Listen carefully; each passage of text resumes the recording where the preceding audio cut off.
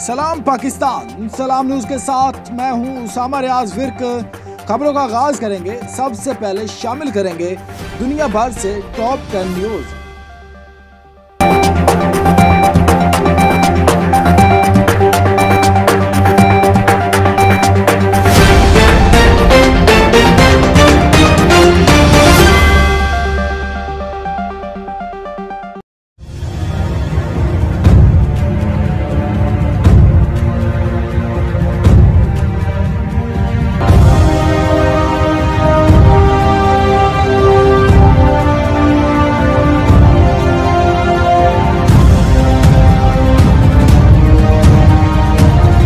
Islamabad police ने वफाकी दारुल हुकूमत से चेक पोस्टें ख़त्म करने के बाद सिक्योरिटी का स्मार्ट तरीका मुतारफ करवाया।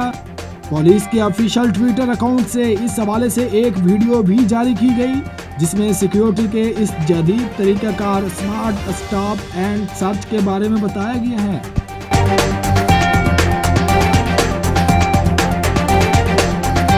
सऊदी अरब में जाल सासों ने धोखाधड़ी का नया तरीका इख्तियार कर लिया, जिसके तहत वो लोगों को फ़ोन करके खुद को बैंक का स्टाफ ज़ाहिर करते हैं और गाहकों की जाती मालूम हासिल करते हैं।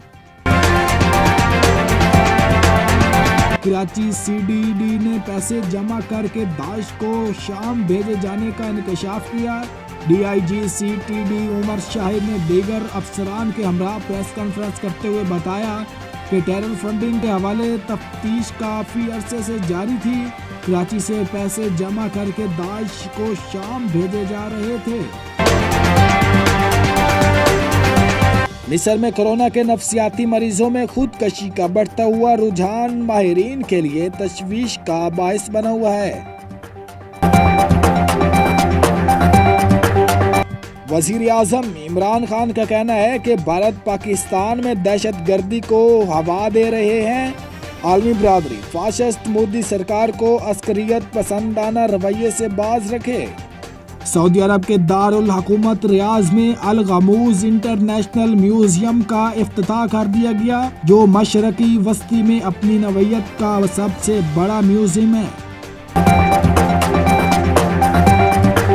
सऊदी अरब में अब मक्का मुकरमा पुलिस ने जद्दा की एक कंपनी से 10 लाख रियाल चुराने वाले दो गैर मुल्कियों को गिरफ़्तार कर लिया। पुलिस का कहना है कि गिरफ़्तार शुदगान का ताल्लुक श्रीलंका से है। दोनों इस कंपनी के मुलाजिम हैं जिसमें चोरी की वारदात की गई। फास्ट बॉलर मोहम्मद आमिर ने कौमी टीम में वापसी के लिए मशरूत रजामंदी ज़ाहिर की। बाएँ हाथ के फास्ट बॉलर के हवाले से गुजशत रोज मीडिया पर ये खबरें चलना शुरू हुई कि मोहम्मद आमिर ने रिटायरमेंट वापस लेने का इशारा दिया और वो बोर्ड को खुद इस हवाले से आगाह करेंगे।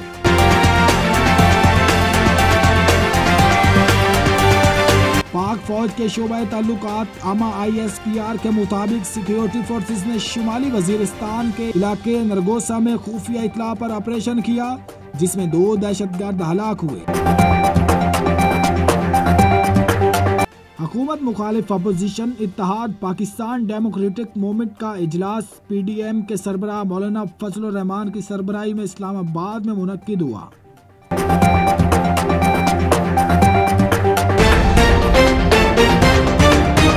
जी नाजरीन, ये थी दुनिया भर से अब तक की 10 बड़ी खबरें। मजीद खबरों से बाखबर रहने के लिए हमारे साथ जुड़े रहें मिलते हैं ताज़ा तरीन अपडेट के साथ।